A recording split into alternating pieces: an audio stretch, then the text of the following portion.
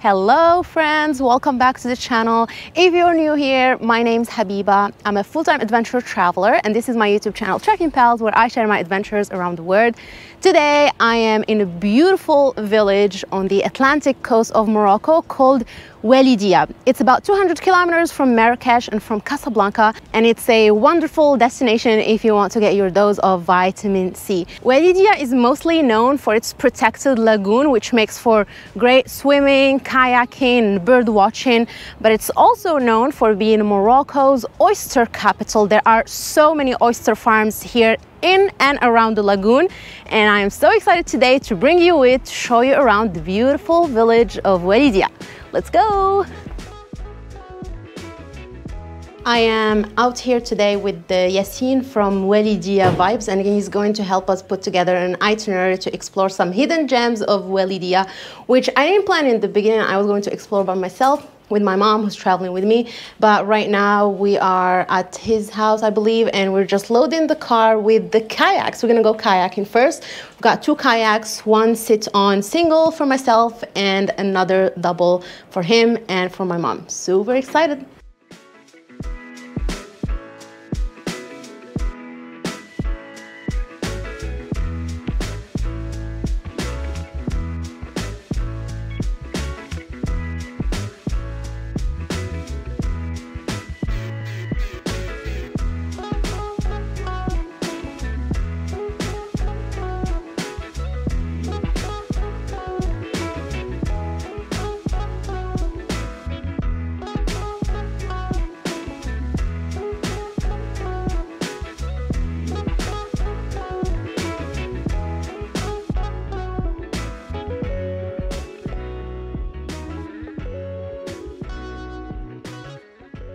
I was just told that right underneath us there are boxes of oysters. I mean, this is as fresh as it gets. There are a bunch of businesses right here taking care of all of these oyster farms. There are so many boxes right underneath me. I can see them.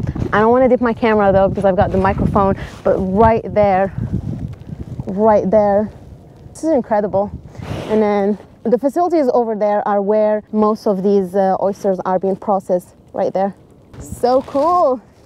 Oualidia, you guys, this is, this is awesome. This is amazing. We just got out of uh, the kayaks. They're parked all the way there for the first break. And the reason we're out here is to check a mausoleum. I'm gonna see if there's anything else to show you inside. This is incredible. When we were in the city, I could see it from up top, but I wasn't sure what it was. There is a masjid a mosque right here. Not quite sure if it's open. And that's the mausoleum right there.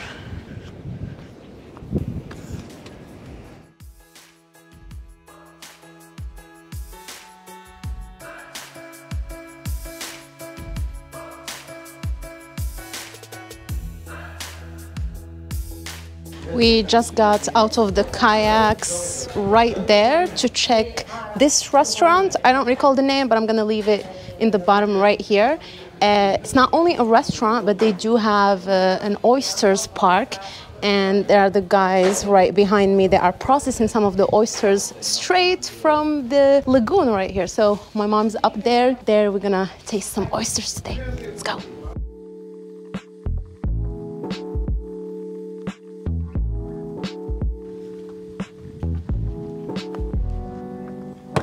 Shukran.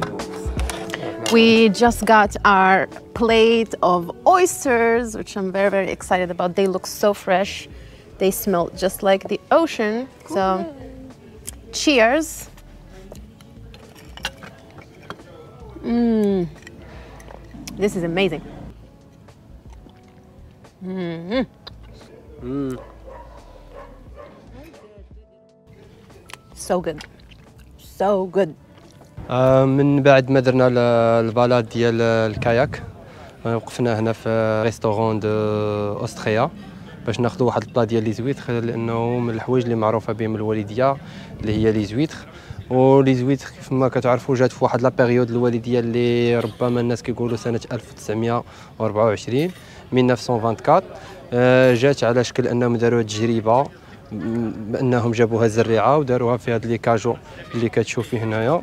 داروا في هاد لي كاجو ومني كيديروا في هاد لي كاجو كتكبر كتبقى كتفلترا يعني حد ما حد هي كتكبر وهي كتفلترا بون مني كتفلترا كتوصل إنها داك لو نيفو ديال إنها خاصها تخرج للارشي كتكون آه، واحد الدورة ديال آه، الطبيب المختص بمسائل ديال الجودة ديال لي زويتر فيما يتعلق بجودة المياه لأنه كما كتعرفوا كتكون واحد المراقبة آه، دائمة على جودة المياه.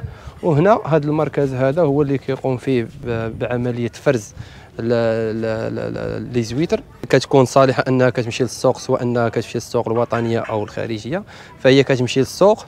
وهنايا أحسن بلاصة بأنك تاخذ لي زويت لحقاش كتكون من بلاصتهم وكتكون بواحد الجودة اللي هي عالية. وفي الأخر غادي نقول لكم مرحبا بكم في الوالدية. For today we chose to kayak but uh, right behind me you can see a couple of boats like this one right here. And usually people visiting Oualidia they would take a boat tour which is a shorter tour so if you are traveling with older people or someone who can't really you know, go in a kayak for an extended amount of time, this is a good option. And you can even choose how long you want to go for. But nothing beats being on a kayak. Wow.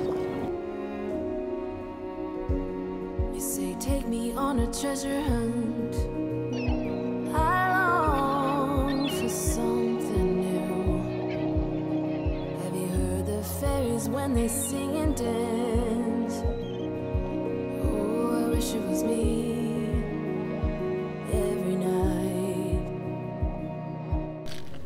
We just got out of the lagoon.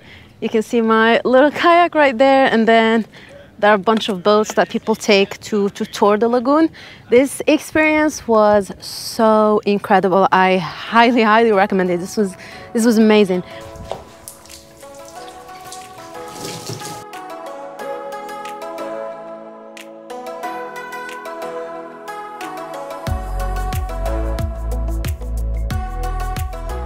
We are on our way to the beach, but I just wanted to uh, stop here to show you all of the quad bikes right there for rentals. So in case you want to take them, I'm not sure if you can take them on the beach, but maybe around the village, you can rent them out there. It's very clear. I mean, you'll see it. But anyway, I'm starving and I cannot wait for some fresh seafood. This is such a perfect view for lunch with all of the seagulls and the waves. It's a little bit foggy, but that makes the whole view a bit more dramatic. We've got a variety of seafood that really smells so good. Got some salad, bread, and we've got some soda. Let's begin. I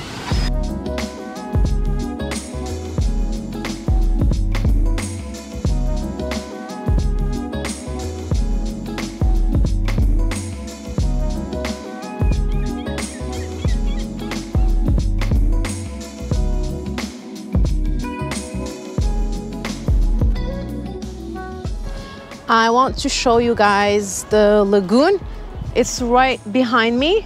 That's where we were kayaking earlier, but it's also the main area for swimming. The water is still is very quiet. You can go and swim and have a lot of fun. But then behind me, through the rocks right there, is the ocean where the waters are very rough. And here in Oualidia, the locals try to separate it into two separate sections. There is La Petite, where the lagoon is very friendly for swimming, and then La Grande on the other side, where the waters are a little bit rough. Um, it's not too far. I mean, one beach you can walk from La Petite to La Grande, but if you want to swim, the lagoon is the way to go. But I'm gonna probably walk just between the rocks right here because there are so many beautiful small pools and see if we can find something interesting today.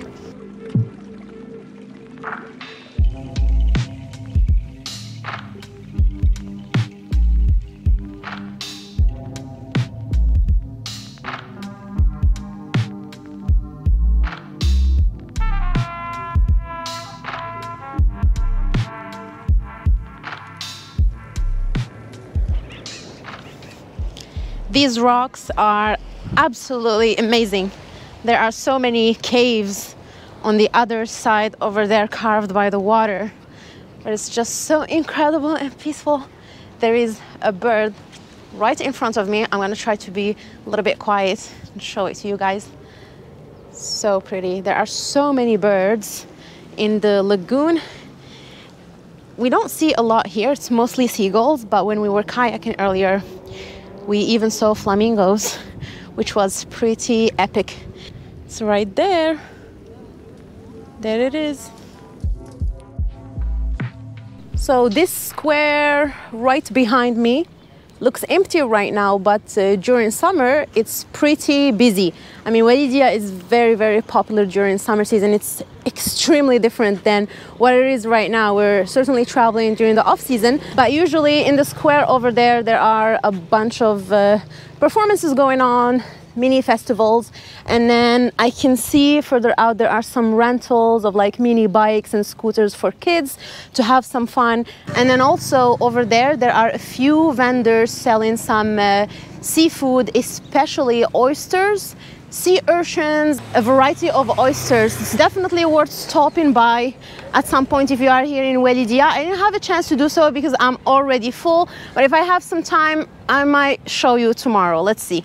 Good morning, everybody. It's our last day here in Oualidia, and we are ready to head out to our next city in Morocco. I'm very, very excited about. But before we do that, I want to show you around the Airbnb where we are staying. Here in Oualidia, there are so many options for accommodation from budget friendly to five stars, executive level hotels, if you wish so. A lot of people choose to stay next to the main lagoon so that you can just walk directly to the water. But I chose this place that's a little bit further out. It's very calm, very quiet, incredible view. The view was the number one reason why I chose this place. The only inconvenience is that you have to walk about 20 to 30 minutes to get to the main lagoon, which I personally don't mind, but I'm traveling with my mom. I love this place, it's so incredible. I can't wait to show you around. And let me know in the comments, how much do you think I paid per night for this cute little Airbnb? Let's look around. This is uh, the main entrance. There is a small courtyard right here. And then that's the main door to the Airbnb. There is a terrace all the way up and I'm going to show you towards the end. There's a little seating area with chairs, beautiful flowers. And then on this side, there is a little kitchenette with the fridge microwave and pretty much everything that we need. My mom is the type of person that prefers to cook when traveling to make sure that she is having or we are having healthy meals. So we were able to find everything that we needed to make some food. They have a coffee maker, they've got all type of utensils, pans, pots, you name it. Let me close the door first. And then this is where the room is. This is a queen size bed. They have a mini closet with some extra pillows and sheets. Beautiful Moroccan style mirrors and decoration. And there is an extra couch right here. This couch turns into a bed. So I would say that this room can really accommodates up to three people, two people in the queen size bed, and then you can make a couch out of this. And they have this little seating area with a little table. Before I show you the view, I'm gonna show you the bathroom.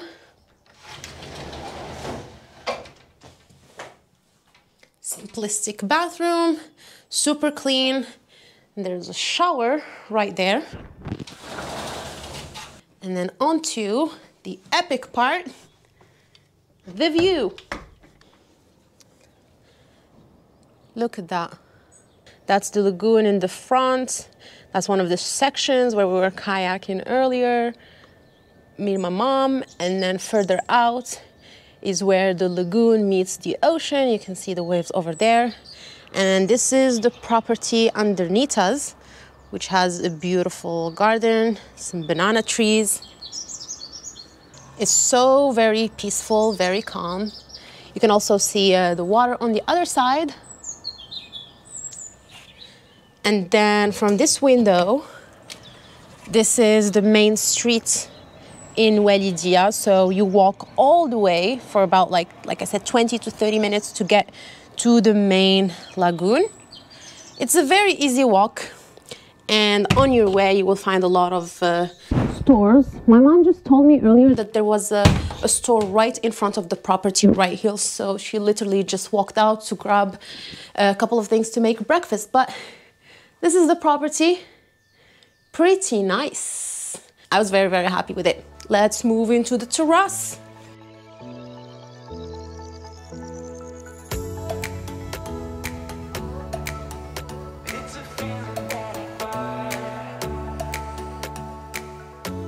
We just walked a little bit further down the trail and look at this view.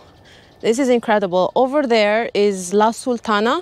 It's a five stars hotel. It's so incredible. It's right by the water and you can see all of the fields. They have mini farms, farm to table, I'm sure. And uh, you can see out there, there are a few boats to take people on tours. A lot of farming going on around the hotel. So incredible.